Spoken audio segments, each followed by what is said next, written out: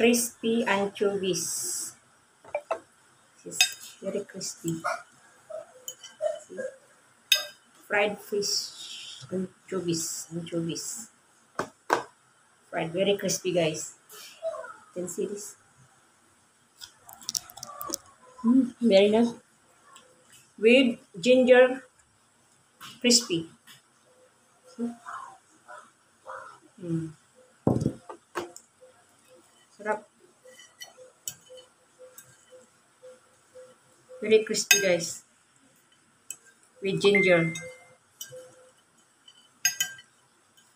Anchovies. See? Mmm. Very nice.